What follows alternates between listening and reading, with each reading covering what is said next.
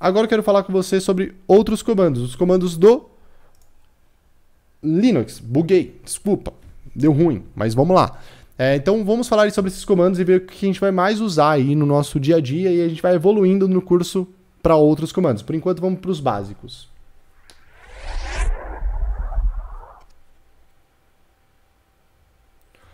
Então vou abrir o Hyper aqui e vamos ver o primeiro comando legal aí que a gente usa bastante. No Hyper, é, a gente está usando o ZSH. Então vou mostrar comandos do Linux, do Bash padrão, e o, como funciona o ZSH também, como a gente pode fazer. Primeira coisa, é listar, fazer a lista de arquivos que tem na pasta que eu estou. ls. Então, ls lista os arquivos que nós temos e pastas. O arquivo, ele fica nessa cor verde aí que você está vendo. Se eu tivesse, a pasta, perdão. Se eu tivesse um arquivo, vou criar um arquivo aqui, ó, chamado coiso.txt. Beleza? Vou criar um arquivo usando Vim, vou dar um ESC aqui, dois pontos X. Aí ele vai salvar e vai e sal salvar e sair. Vou dar um LS, ó. Não salvou e saiu? Opa, Vim. Eu acho que esqueci do W, né? Coiso.txt. E eu quero salvar e sair. W. Que. Vamos sair agora. LS. Agora foi. Olha lá, acabamos de descobrir uma coisa que eu não sabia do Vim. O X ele não salva uma vez que você nunca tem um arquivo, né? Ele não cria o arquivo. Tem que ser com W. Acabamos de descobrir isso juntos. Beleza? Fica a dica aí. Se você está criando um novo arquivo, não salva com o X. Só dá quando você já tem o um arquivo criado. Isso foi bem interessante. Então agora a gente vê ó, que os arquivos, eles não ficam, quando a gente dá o LS, eles não ficam ali grifados com aquela caixinha verde, né? E com a cor da fonte em azul. Ele fica aí basicamente com o nome do arquivo seco com na cor branca, beleza? É assim, pelo menos neste tema aqui que a gente está usando no nosso Hyper. Isso é bem interessante, bem poderoso. A gente consegue criar, consegue listar, quer dizer. A gente também consegue listar os arquivos ocultos, que todos os arquivos começam com ponto, ls-la. Beleza? Eu vou dar um enter e a gente consegue ver os nossos arquivos ocultos. Isso é muito bacana também. Tem o bash, tem o ponto .ru mais .sh, que a gente chegou a deletar, isso é uma pasta. A pasta também fica azul ali, a pasta oculta, beleza? Ela não fica com a caixinha verde, né? Porque ela é oculta, ela fica só com texto em azul. Isso é bem legal também pra gente saber. Então, isso aqui são os comandos básicos. Esse é o comando de listar as coisas. Como é que eu crio uma pasta? A gente fez aí, mas eu não expliquei ao curto aí bonitinho, mkdir. mkdir, o nome da pasta, pasta coiso. Aí ele criou a pasta coiso pra gente. Eu vou dar um ls, tá ali a pasta coiso. Show? Como é que eu faço para deletar essa pasta? Pô, não queria nem a pasta coiso e nem o arquivo. rm, você dá aqui coiso.txt.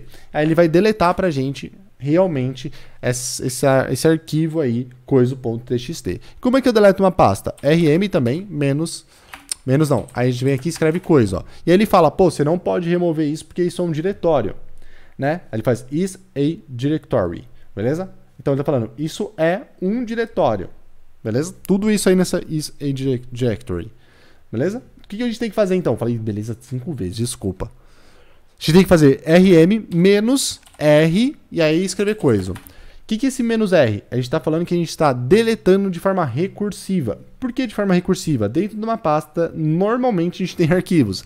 E aí, quando você está deletando uma pasta, você não está deletando só ela, você está deletando ela e tudo que está dentro dela. Pode ser outras pastas, outros arquivos e por aí vai. Quando você dá um menos R, você está falando que você vai deletar tudo e tudo que está dentro. E a pasta, você precisa ser declarativo que está fazendo isso. E aí você deletou de forma recursiva, a pasta deixa de existir se a gente dá um ls aqui. Bem bacana isso, né? Inclusive, a gente pode deletar também a pasta cursos, ó. Menos R, cursos. Show? Então a gente viu como criar e como deletar uma pasta. E como entrar dentro dela? A gente viu várias vezes, né? Vamos criar aqui novamente a pasta cursos. Então, mkdir cursos. Eu vou entrar dentro dela, cd. E a gente escreve cursos. Isso aqui já faz com que a gente entre em da pasta cursos. Interessante. Mas com ZSH a gente não precisa mais digitar o CD. Por exemplo, para voltar, para voltar um nível de pasta, né, voltar o que a gente estava na pasta anterior, a gente dá CD espaço ponto ponto. Bacana também. Mas agora está usando ZSH. Dando LS a gente consegue ver a pasta cursos. Se você quiser entrar dentro dela, só escreva cursos e dá um tab. Escreva cur e dá um tab. Aí que entra uma coisa interessante também. Se você escrever cur, e que tiver outras pastas ou outros arquivos ou coisas globais, nesse caso são coisas globais, que começam com a palavra CU, você tem que dar outro tab e aí você consegue navegar pelos direcionais até a pasta cursos. E você dá um enter. Aí você entrou na pasta cursos, feliz da vida, só dá outro enter que entrou de fato. E aí a gente entrou nela. Como que a gente sai dela? CD ponto ponto. Não. Ponto ponto. Não precisa dar CD mais na sua vida. Beleza? Essa é a ideia.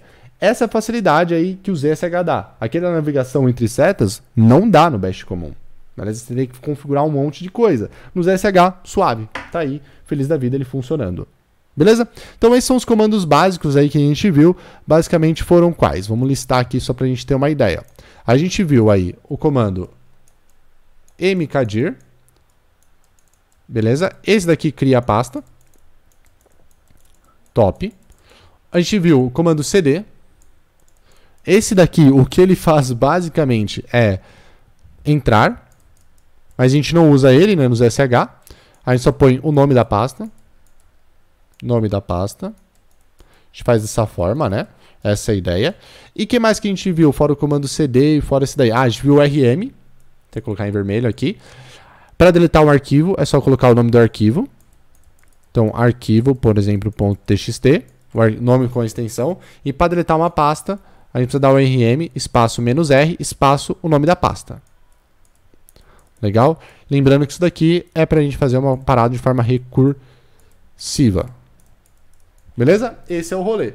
Então, o forma recursiva porque a gente tem que deletar tudo que está dentro da pasta para deletar a pasta. Essa é a ideia. Ele faz de, de dentro para fora. Por isso que é recursivo aí o rolê. Então, esses são os comandos que eu lembro que eu passei para vocês. A gente vai vendo mais comandos durante todo o curso, mas essa é a base aí para a gente não ficar tão perdido dentro do nosso Linux e dentro do nosso terminal. Bacana? Vamos pro próximo vídeo, bora!